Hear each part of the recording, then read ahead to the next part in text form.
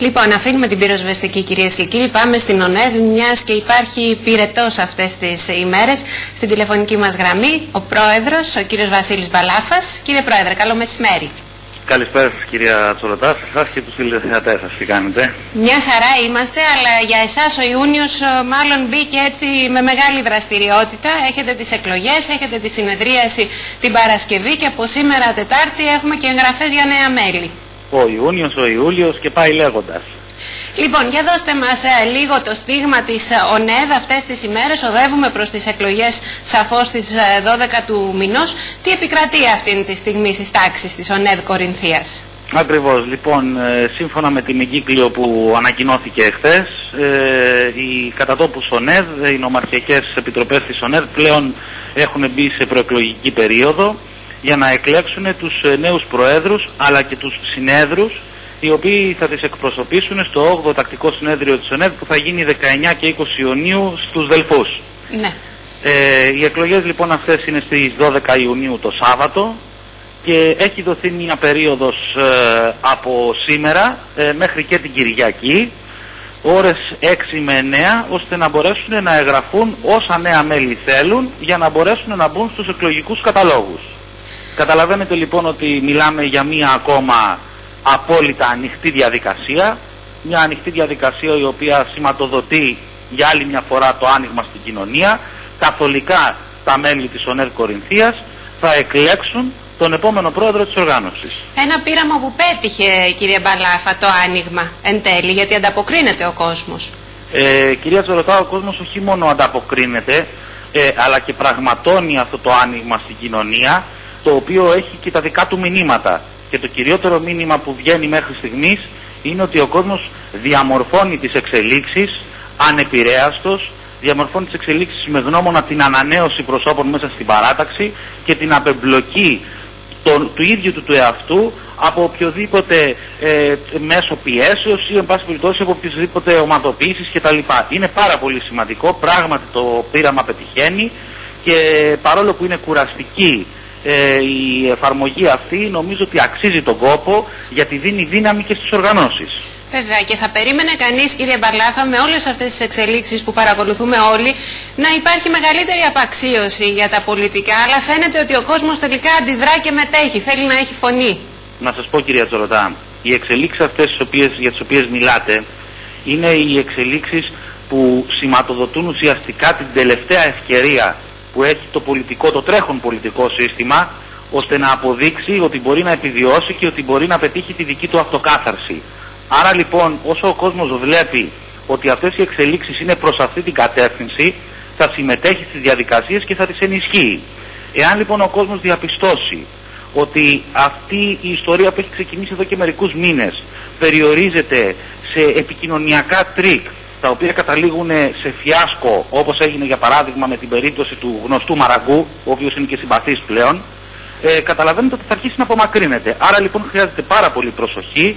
Οι εξελίξεις δείχνουν ότι ε, ο κόσμος εκτιμά την προσπάθεια που γίνεται και εγώ το, το, το, τονίζω και πάλι ότι είναι η τελευταία ευκαιρία του πολιτικού συστήματος να δείξει ότι μπορεί να αναδείξει νέους ανθρώπους, νέα πρόσωπα στις τάξεις του, οι οποίοι θα εκπροσωπήσουν τους πολίτες, τους ψηφοφόρους, αυτοί οι οποίοι δηλαδή τους αναδεικνύουν. Και το ότι μετέχει και η νεολαία, κύριε Μπαλάφα, αυτό δείχνει σίγουρα και τη δουλειά που γίνεται από τη ΟΝΕΔ. Έτσι. Ε, επειδή είναι η ώρα πλέον που επίσημα ε, φτάνει η στιγμή που σιγά σιγά ε, εγώ θα παραδώσω στον επόμενο πρόεδρο την ΟΝΕΔ Κορινθίας, ε, πιστεύω ότι αυτά τα τρία χρόνια όλοι μαζί, όλοι οι άνθρωποι οι οποίοι αποτελούσαν την Ομαρχιακή Επιτροπή, κάναμε μια πάρα πολύ καλή δουλειά. Εγώ δεν θα πω ούτε άριστη ούτε την τέλεια, μια πάρα πολύ καλή δουλειά, ώστε σταδιακά οι νέοι να επιστρέψουν στην πολιτική και αυτό σε ό,τι αφορά το δικό μας μετερίζει φυσικά, ναι. έτσι. Άρα λοιπόν πιστεύω ότι και έδαφος υπάρχει για τον επόμενο πρόεδρο, ε, έδαφος δηλαδή για να δουλέψει περισσότερο, να δουλέψει καλύτερα, να κάνει περισσότερα πράγματα και είναι και πολύ σωστό αυτό που είπατε ότι πράγματι ε, είδαμε ότι όταν οι νεολαίες, οι πολιτικές νεολαίες είναι παρεμβατικές, είναι ξεκάθαρες, έχουν αποκρισταλωμένη άποψη και παίρνουν και θέση, που δεν είναι και πάντοτε σωστή, αλλά εν πάση περιπτώσει παίρνουν μια θέση η οποία προκύπτει μέσα από συζήτηση, τότε πραγματικά βλέπουμε ότι οι νέοι ε, αρχίζουν και αντιμετωπίζουν με πιο ελκυστικό τρόπο την πολιτική. Αυτή η τριετία λοιπόν σας αφήνει ευχαριστημένο φαντάζομαι για τα όσα έγιναν στην ΟΝΕ. Ε, κοιτάξτε να σας πω, ε, εγώ μπορώ να πω ότι δεν είμαι πλήρως ικανοποιημένος ε, από, τη, από τη θητεία που πέρασε. Πλήρως ικανοποιημένος δεν μπορώ να είμαι, όμως πιστεύω ότι μέσα στο, στο όριο του χρόνου, μέσα στη λωρίδα του χρόνου των τριών ετών με την, κατά την οποία με τίμησαν τα μέλη της ΟΝΕΔ Κορινθίας έτσι ώστε να είμαι πρόεδρος της οργάνωσης αυτής, πιστεύω ότι προχωρήσαμε μπροστά, βάλαμε ένα σημαντικό λιθαράκι, ε, κάναμε κάποια πράγματα τα οποία θα μείνουν για την οργάνωση ε, και είμαι σίγουρος ότι, ε, ότι παραδίδω μια κατάσταση πολύ καλύτερη από αυτή η περιπτώσει που βρήκαμε ως νομαρχική επιτροπή. Αυτό νομίζω ότι είναι ένα βήμα μπροστά. Αυτό θα έλεγα και εγώ γιατί είστε μετριόφρον και η Κορινθία τουλάχιστον στη δική σας τη θητεία έμαθα για την ΟΝΕΔ και τις δράσεις της. εντάξει, κοιτάξτε, δεν είναι θέμα μετριοφροσύνης, ε, είναι θέμα του να, του να ξέρουμε ε, τι έχουμε κάνει και πού θέλουμε να πάμε. Γιατί για μένα δεν μου αρκεί απλώς να πούμε ότι κάναμε κάτι καλύτερο, ε, θα μου αρκεί πάντοτε να λέω ότι ε, ικανοποιήθηκε πλήρως ο στόχος. Ο στόχος που είχα θέσει δεν ικανοποιήθηκε πλήρως. Και ο στόχος αυτός ήταν να είχαμε ένα τοπικό γραφείο της ΟΝΕΔ σε κάθε Δήμο του νομού Κορινθίας.